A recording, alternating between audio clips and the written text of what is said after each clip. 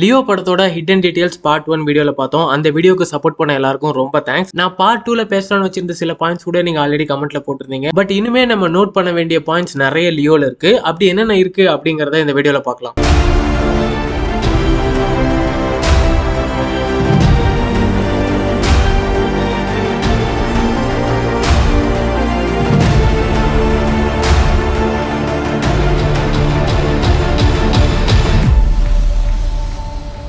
Already அந்த வீடியோல ஏழு ஹிண்ட் சொல்லியிருப்பேன். இப்போ எட்டாவது ஹிண்ட் என்னன்னு பார்ப்போம். ஹைனா சீன்ல ஃபர்ஸ்ட் டைம் பார்த்திபன் ஜோசிக்கு கால் பண்ணும்போதே அந்த போன்ல பார்த்திபன் வராம லியோன்னு வரும். படத்தோட ஃபர்ஸ்ட் சீன்லயே லோக்கி நமக்கு ஒரு பெரிய ஹிண்ட் கொடுத்திருக்காரு. சோ ஜோசிக்கு பார்த்திபன் தான் லியோங்கிற விஷயம் ஆல்ரெடி தெரிஞ்சிருக்கு. அதுக்கு எக்ஸாம்பிளா நான் சில சீன் சொல்றேன். இந்த சீனை ஜோசிக்கு ஆல்ரெடி லியோவை தெரியும் அப்படிங்கிற மைண்ட் செட்டோட அந்த சீன்ஸ் எல்லாம் பாத்தீங்கன்னா உங்களுக்கே கிளியரா புரியும். பிரியா ஆனந்த் ஜோசி கிட்ட ஒன்னு கேட்பாங்க. பார்த்திபனை பார்த்தா சந்தேகப்படுறதா இல்ல பாவப்படுறதானே தெரியல அப்படின்னு கேட்பாங்க. இதை கேட்ட உடனே ஜோசி உஷாராயிட்டு உடனே அவங்க நம்புற மாதிரி பார்த்திபன் நடிக்கல. ஒரு மனுஷனால ஒரு அளவுக்கு தான் பொய் சொல்ல முடியும். அதுக்குன்னு ஒரு பிரேக்கிங் பாயிண்ட் இருக்கு. அப்படி இப்படின்னு சொல்லி பிரியா ஆனந்த நம்ப வச்சிருப்பாரு. ஏன்னா ஜோஷிக்கு நல்லாவே தெரியும். பிரியா ஆனந்த்க்கு உண்மை தெரிஞ்சதுன்னா கண்டிப்பா அதை த்ரிஷா கிட்ட சொல்லிடுவாங்கன்னு அதே மாதிரி லியோ என்ன மைண்ட் செட்ல இருக்காரு அப்படிங்கறதும் ஜோசிக்கு கிளியரா தெரியும். தான் லியோன்னு யார் யாருக்கு தெரியுதோ யார் யார் அதை எக்ஸ்போஸ் பண்ண ட்ரை பண்ணுவாங்களோ எல்லாத்தையும் லியோ கொள்ளுவாரு அப்படிங்கிற விஷயம் ஜோசிக்கு ஆல்ரெடி தெரியும். உனக்கு உண்மை தெரிஞ்சு போச்சு. உன விடக்கூடாது. இன்னொரு பாயாசத்தை போட்டுற வேண்டியது. எங்கே லியோ பிரியா கொண்டுருவாரோ அப்படின்னு சொல்லி உஷாராயிட்டு தான் பிரியானந்த் மைண்டில் பார்த்திபன் நல்லவன் அப்படின்னு சொல்லி நம்ப வச்சிருப்பாரு. சரி அப்போ ஏன் ஜோஷி ஹிருதயராஜ் கிட்ட போயிட்டு லியோ பற்றி இன்வெஸ்டிகேட் பண்ணாரு அப்படின்னு சொல்லி ஒரு கொஸ்டின் வரும். அந்த இன்வெஸ்டிகேஷன் சத்யாவை நம்ப வைக்கிறதுக்கான ஒரு கண் துடைப்பா இருக்கலாம். இல்லைன்னா இன்னொரு பாசிபிலிட்டி கூட இருக்கு. அது இப்போ சொன்னால் நல்லா இருக்காது. நான் டென்த் பாயிண்ட்ல இதை பற்றி கிளியராக எக்ஸ்பிளைன் பண்ணுறேன் நெக்ஸ்ட்டு கேபி பார்த்திபனை பார்க்கறதுக்கு காஃபி ஷாப் வந்திருப்பாரு. எல்லாருக்கிட்டையுமே சாஃப்டா பேசி நான் லியோ இல்லை அப்படின்னு சொல்லி அனுப்புற பார்த்திபன் கேபியை பார்த்தோன்னே மட்டும் அவ்வளோ கோவப்பட்டிருப்பாரு. ஸ்ட்ரெயிட்டா போய் அவரை மிரட்டவே ஆரம்பிச்சிருப்பாரு. ஏன்னா அவருக்கு பாஸ்ல கேபியை நிறைய வாட்டி மிரட்டி பழக்கம். அந்த பழக்கம் இப்போ தான் பார்த்திபனா இருக்கேன் அப்படிங்கிறதே மறந்துட்டு அவரே அறியாம வெளியே வந்திருக்கும். பார்த்திபன் மிரட்டின உடனே கேபி பயந்துட்டு அந்த இடத்த விட்டு வெளியே போயிடுவாரு. அட் த சேம் டைம் பார்த்திபனுக்கு சத்யா கிட்ட இருந்து ஒரு கால் வரும். சத்யா என்ன பேசுறாங்க அப்படிங்கறத அந்த அளவுக்கு காதுலே வாங்க மாட்டாரு. கேபி இங்க இருந்து காஃபி ஷாப் வெளியே போற வரைக்கும் வரைக்குமே அவரை முறைச்சிக்கிட்டே இருப்பார். அவர் பார்வையிலேயே அப்படி ஒரு கொலவெறி தெரியும். பாவம் அந்த மனுஷன் கேபி ஒரு பக்கம் லியோவை பார்த்த சந்தோஷமும் இருக்கும். இன்னொரு பக்கம் லியோ மிரட்டினதால பயந்து வெளியே போயிட்டு இருப்பாரு ஆனா பார்த்திபன் அவர் அவ்வளவு முறைச்சிட்டு இருப்பாரு அந்த இடத்துல பார்த்திபனை பாக்குறதுக்கு ஒரு டெவில் மாதிரி இருக்கும். இதை கனெக்ட் பண்ற மாதிரி அடுத்த சீன்ல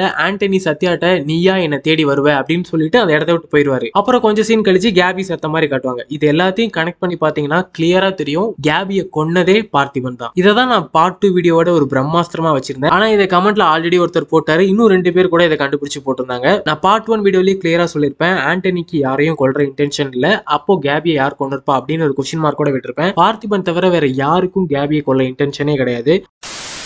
எயித்து ஹிண்ட்டில் ஜோசி ஏன் ஹிருதயராஜ விசாரிக்க போனாரு அப்படிங்கிறத பத்தி நான் இன்கம்ப்ளீட்டா விட்டுருப்பேன். அது என்ன பாயிண்ட்ங்கிறத இப்போ சொல்றேன். பார்த்திபன் சாண்டி மிஸ்கினை கொன்ன நியூஸ் எல்லா நியூஸ் பேப்பர்லயும் வந்துடும் அது மும்பை தெலுங்கானா அப்படின்னு நிறைய பேஜ்ல இருக்கிறவங்களுக்கு அந்த நியூஸ் தெரியுற மாதிரி காட்டியிருப்பாங்க.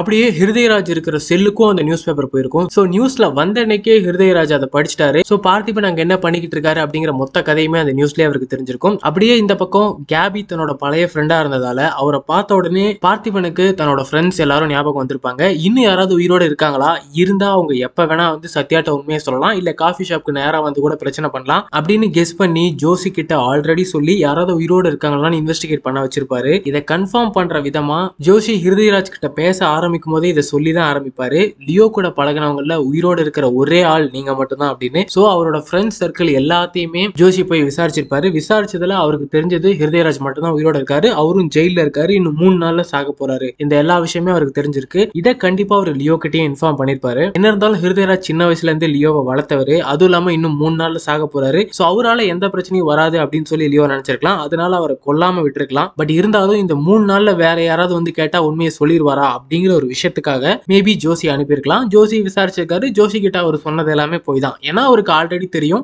லியோ பார்த்திபனா மறைஞ்சு வாழ்ந்துகிட்டு இருக்கான் அப்படிங்கிற விஷயம். அதுவும் இல்லாம எங்க ஜோசியால பார்த்திபனுக்கு ஆபத்து வந்துருமோ அப்படின்னு கூட ஹிருதயராஜ் நினைச்சு பயந்துருக்கலாம். ஏன்னா ஃபர்ஸ்ட் ஜோசியை பார்த்த பார்த்தோன்னே ஹிருதயராஜ் சொல்ற விஷயம் என்னன்னா நீ நல்லதுக்காக தான் இங்க வந்திருக்க அப்படின்னா நீ ஏன் பின்னாடி வழியா சரக்கு வாங்கி கொடுத்து என்கிட்ட இந்த உண்மையை வாங்குற? நீ லீகலாவே வாங்கியிருக்கலாமே அப்படின்னு ஹிருதயராஜுக்கு கௌதம் மேல ஒரு சந்தேகம் வந்திருக்கும். டவுட்னா ஏதோ ஒரு போலீஸ்காரன் லியோவும் பார்த்திபனும் ஒண்ணு அப்படின்னு சொல்லி அரெஸ்ட் பண்றதுக்காக நம்மள்ட்ட கேட்க வந்திருக்கான் அப்படின்னு நினைச்சிட்டு அவர் மாத்தி சொல்லிருக்கலாம் அதுக்கப்புறம் கூட இன்னொன்னு சொல்லுவாரு சொல்ல வேண்டிய விஷயம் எல்லாத்தையுமே நான் கோர்ட்லயே ஆல்ரெடி சொல்லிட்டேன். இதுக்கப்புறம் சொல்றதுக்கு இல்லை அப்படின்னு சொல்லுவாரு. ஸோ இதை வச்சு பார்க்கும்போது ஹிருதயராஜ் என்ன நினைக்கிறாருன்னா பார்த்திபன் தான் லியோங்கிற விஷயம் வேற யாருக்கும் தெரிஞ்சிடக்கூடாது அப்படின்னு அவர் நினைக்கிறாரு. அப்படியே ஆப்போசிட்ல உட்காந்துருக்க ஜோஷியோட எண்ணமும் அதுதான். அவருக்கும் ஆல்ரெடி தெரியும் லியோவும் பார்த்திபனும் ஒண்ணுதான் அப்படிங்கிற விஷயம். ஆனாலும் அவர் இது யாருக்கும் தெரிஞ்சிடக்கூடாது அப்படிங்கிற இன்டென்ஷன்ல தான் அவரு உட்காந்து இங்க கொஸ்டின் கேட்டுட்டு இருக்காரு இந்த படத்துல நிறைய பேர் லோகேஷ் கனகராஜ் ரைட்டிங் சரியில்லை ரைட்டிங் சரியில்லைன்னு சொல்றாங்க. இந்த ஒரு சீனே சொல்லும் லோகேஷ் கனகராஜ் எப்படி ஒரு ரைட்டர் அப்படிங்கிறது. ரெண்டு பேத்துக்குமே லியோவும் பார்த்திபனும் ஒண்ணுன்னு தெரிஞ்சும் அது ஒருத்தருக்கு ஒருத்தர் தெரியாத மாதிரி இந்த இடத்துல ஒரு கான்வர்சேஷன் பில்ட் பண்ணிருப்பாங்க அந்த கான்வர்சேஷனை ஆடியன்ஸ் அப்படியே பார்த்து நம்பியிருப்போம். இந்த ஒரு சீன்லேயே லோகேஷ் எவ்வளவு பெரிய ரைட்டருங்கிறது காட்டுது. நான் கூட ஆடியன்ஸ் நம்மளை விட ஜோசி தான் இன்னசென்ட் பார்த்திபன் கிட்டயும் ஏமாந்துட்டாரு ஹிருதயராஜ் கிட்டே ஏமாந்துட்டாரு நினைச்சேன். ஆனா ஜோசி தாங்க மெயின் வில்லன் படம் ஸ்டார்டிங்ல இருந்து கடைசி வரைக்குமே அவரும் சேர்ந்து நம்மளை ஏமாத்திட்டு இருந்திருக்காரு.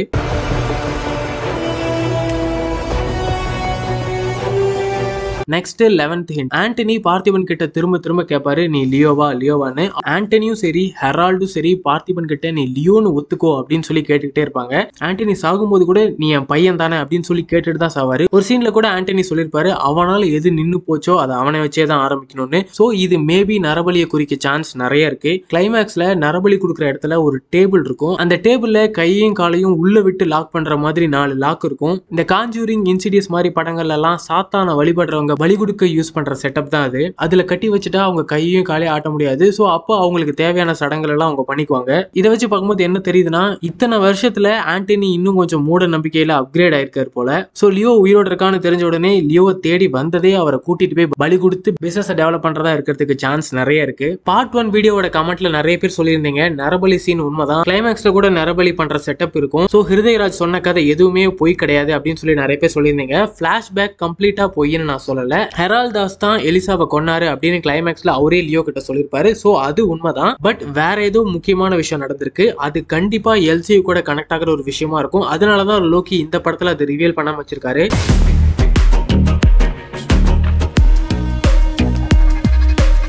ஆண்டனி தாஸ்க்கு லியோ தாஸ் எலிசா தாஸ்னு ரெண்டு பசங்க இருக்காங்க. ஆனா ஹெரால் தாஸ்க்கு ஒரு ஃபேமிலி இருக்கிற மாதிரி பிளாஷ்பேக் போர்ஷன்ல காமிச்சிருக்கவே மாட்டாங்க. மேபி ஹெரால் தாஸ்க்கு ஒரு ஃபேமிலி இருந்திருக்கலாம். அந்த ஃபேமிலியில ஒரு ஆள் எல்சியூல இருக்க சான்ஸ் இருக்கு. எனக்கு தெரிஞ்சு அந்த கேரக்டர் கண்டிப்பா ரோலக்ஸா தான் இருக்கும். இல்லனா லியோக்கு ஜஸ்ட் இருபத்தி ரெண்டு வயசு தான் அப்ப ஆகியிருக்கு. அந்த டைம்ல அவர் எப்படி இன்டர்நேஷனல் கண்ட்ரிஸ் வரைக்கும் தத்தூராவை டிரான்ஸ்போர்ட் பண்ண முடியும்? ஸோ லியோக்கு சப்போர்ட் பண்றதுக்கு ஒரு வெயிட்டான கை கூடவே இருந்திருக்கலாம். அது ஹெரால் தாஸோட பையனான ரோலக்ஸா இருந்திருக்கலாம். அப்படி இல்லனா ரோலெக்ஸ் லியோட ஃப்ரெண்டா இருக்கிறது கூட சான்ஸ் இருக்கு. லியோக்கு இருபத்தி ரெண்டு வயசுனா ரோலெக்ஸ்க்கும் அந்த ஏஜ் கிட்ட தான் இருக்கும். அப்ப- அவரும் கிரவுண்ட் லெவல்ல தான் இருந்திருப்பாரு. ஸோ ரெண்டு பேரும் சேர்ந்து மேபி ட்ரக்ஸை மூவ் பண்ணிட்டு இருந்திருப்பாங்க. இப்படின்னு எக்கச்சக்க பாசிபிலிட்டிஸ் ரோலெக்ஸையும் லியோவையும் கனெக்ட் பண்றதுக்கு இருக்கு. இன்னொரு பாசிபிலிட்டி கூட இருக்கு. ஒரு நாள் நடந்த கதை இதை கேட்டதுக்கே அரண்டு போயிட்டான். மீதி கதை கேட்டா என்ன ஆகணும் இந்த டயலாக் கேட்ட உடனே இதே மாதிரி ஒரு டைலாக் நீங்க எல்சியூல எங்கேயோ கேட்டிருப்பீங்க. அந்த டயலாக்க கேட்ட உடனே என்னவா இருக்கும்? அதுக்கு முன்னாடி அவர் என்ன பண்ணிருப்பாரு அப்படின்னு சொல்லி நமக்குள்ள ஒரு ஹைப் உருவாகி இருக்கும். அது என்ன டயலாக்னா பத்து வருஷம் உள்ளே இருந்தேன்னு மட்டும்தானே சார் தெரியும்.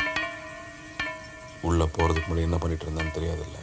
தில்லியும் லியோவும் கூட ஒன்னா இருந்திருக்க சான்ஸ் இருக்கு. லியோ தில்லி ரெண்டு பேர் கதையுமே ஆல்மோஸ்ட் ஒன்று தான் கைதியில ஒரு சீன்ல தில்லி சொல்லியிருப்பாரு நினைவு தெரிஞ்ச நாள்ல இருந்து எனக்கு தெரிஞ்சது அடிதடி குடி அப்படின்னு சொல்லியிருப்பாரு. அவன் மட்டும் வரலனா அப்படியே கிடந்து செத்துருப்பேன் அப்படின்னு சொல்லியிருப்பாரு. சோ அதே கதை தான் இங்க லியோக்கும். ஃபர்ஸ்ட் கேங்ஸ்டரா இருந்திருக்காரு. அதுக்கப்புறம் த்ரிஷா கூட நார்மலான லைஃப் வாழ்ந்திருக்காரு. லியோக்கு ட்ரக்ஸ் இம்போர்ட் பண்றதுக்கு தில்லி ஹெல்ப் பண்ணிருக்க சான்ஸ் இருக்கு. ஃபைனலா இந்த பாயிண்ட்ல நான் சொல்ல வர விஷயம் என்னன்னா லியோவோட பாஸ்ட்ல எல்சியூல வர்ற ஏதோ ஒரு கேரக்டரை லோகேஷ் மறைச்சிருக்காரு. அதனாலதான் இந்த பிளாஷ்பேக் ஃபுல்லாமே நமக்கு இன்கம் இன்கம்ப்ளீட்டா ஃபீல் ஆகுது. அது தில்லி ரோலெக்ஸா இருந்தா செம்ம கிக்கா இருக்கும். இப்படி யோசிச்சு பாருங்களேன் அதுவும் ஹெரால் தாஸோட பையனா மட்டும் ரோலெக்ஸ் இருந்தா ஹெரால் தாஸை கொன்னதே லியோ தான். கண்டிப்பா ரிவெஞ்ச் எடுக்க வருவாரு. ஸோ தேட்டர்ல லியோ வெர்சஸ் ரோலெக்ஸ்னு ஒரு படம் ரிலீஸ் ஆச்சுன்னா ஆயிரம் கோடி இல்ல ரெண்டாயிரம் மூவாயிரம் கோடி கூட கன்ஃபார்ம் அடிக்கும். இந்த மாதிரி லியோல இருக்கிற இன்கம்ப்ளீட் டாட்ஸ் எல்லாம் ரிவியல் ஆக நம்ம லியோ டூ வரைக்கும் வெயிட் பண்ணணும்னு அவசியமே இல்லை. கைதி டூலேயே நமக்கான ஆன்சர் கண்டிப்பா கிடைக்கும்.